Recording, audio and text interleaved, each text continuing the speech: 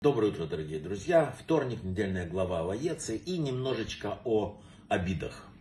Вот э, мы утром каждый раз читая молитву, говорим, и пусть душа моя повергается в прах пред каждым хулящим меня. Почему, в связи с чем мы это должны говорить? Яков, который описывается в этой недельной главе, он имел сотни поводов обидеться, например, на свою жену Лею. Наверное, он был бы прав, она его, в общем-то, обманула. Но тогда шесть колен Израиля не могли бы появиться на свет. Вот такой себе принципиальный поворотик. Зато Кабала говорит нам, что громадная сила и громадная браха получает тот, кто умеет промолчать, когда его публично позорят. Кабала говорит, что это смывает, во-первых, такое количество грехов, что если бы человек понимал, он бы искал бы, кто бы меня обидел. Во-вторых, мы сами имеем возможность, если мы сдержались во время оскорбления, благословлять кого угодно. Есть потрясающая история, я сейчас не буду этим заниматься, царя Давида, когда он бежал от своего сына Авшалома, и вышел человек, его позорил, э, Шими Бенгира, и вот как это всем кончилось.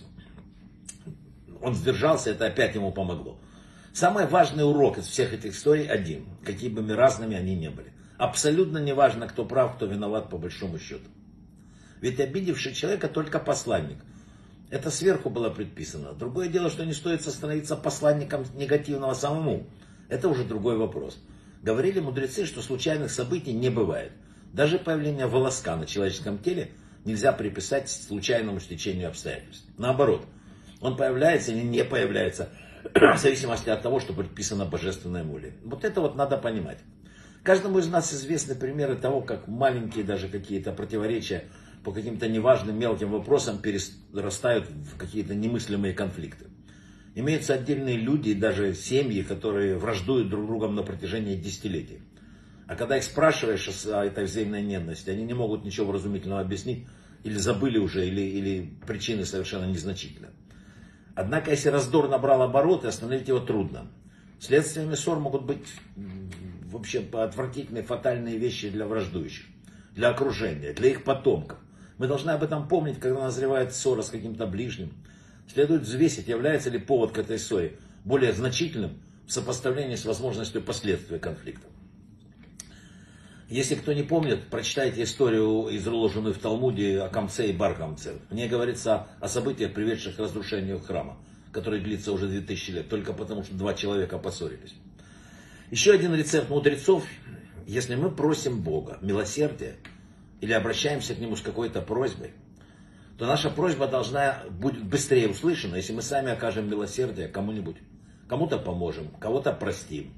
И тем более, тем более, что э, вопреки, если мы реальному какому-то оскорблению не будем отвечать на него, то какие огромные милости написано мы можем получить от Бога.